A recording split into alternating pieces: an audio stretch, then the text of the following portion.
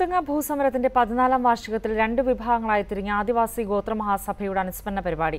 C K ജാനുവിന്റെയും M ഗീതാനന്ദന്റെയും നേതൃത്വത്തിലുള്ള വിഭാഗങ്ങളാണ് രണ്ടായി തിരിഞ്ഞ് ഗോത്രപൂജ നടത്തിയത്. എന്നാൽ ആദിവാസികൾ ഒറ്റക്കെട്ടാണെന്ന് ഗോത്രപൂജയ്ക്കെത്തിയ സി കെ ജാനു പറഞ്ഞു.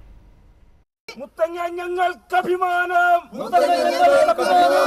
മുത്തങ്ങ ഞങ്ങൾക്ക് അഭിമാനം. മുത്തങ്ങ സമരത്തിന് ശേഷം കഴിഞ്ഞ പതിമൂന്ന് വർഷങ്ങളിലും സി കെ ജാനുവും ഗീതാനന്ദനും ഒരുമിച്ചാണ് അനുസ്മരണ പരിപാടിക്ക് എത്തിയിരുന്നത്. എന്നാൽ കഴിഞ്ഞ നിയമസഭാ തെരഞ്ഞെടുപ്പിൽ C K Janu N D എയുടെ ഭാഗമായതിനെ തുടർന്ന് ഇരുവരും അകന്നു. ഇതോടെ മുത്തങ്ങ അനുസ്മരണ പരിപാടിയും രണ്ടായി. ഗീതാനന്ദന്റെ നേതൃത്വത്തിലുള്ള വിഭാഗമാണ് ആദ്യം ഗോത്രപൂജയ്ക്ക് എത്തിയത്.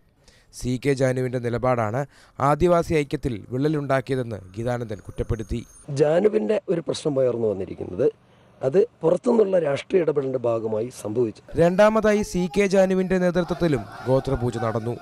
നേതാക്കൾ രണ്ടു തട്ടിലാണെങ്കിലും ആദിവാസികൾ ഒറ്റക്കെട്ടാണെന്ന് സി കെ ജാനു പറഞ്ഞു. നേതാക്കൾ അവർക്ക് രാഷ്ട്രീയപരമായിട്ടുള്ള കാര്യങ്ങളിൽ അഭിപ്രായ വ്യത്യാസം ഉണ്ടാവും പ്രശ്നങ്ങൾ ഉണ്ടാവും. അപ്പോൾ ആദിവാസികളാരും രണ്ടായിട്ട് തിരിഞ്ഞിട്ടില്ല. ആദിവാസികളെല്ലാം ഒറ്റക്കെട്ടായി ഒരുമിച്ചിട്ടുണ്ട് സംഘടനയിൽ വിള്ളലുണ്ടായെങ്കിലും ആദിവാസി ഭൂസമരങ്ങൾ കൂടുതൽ ശക്തമാക്കുവാനുള്ള തീരുമാനത്തിലാണ് ഇരു വിഭാഗങ്ങളും. ഏഷ്യാനെറ്റ് ന്യൂസ് വയനാട്.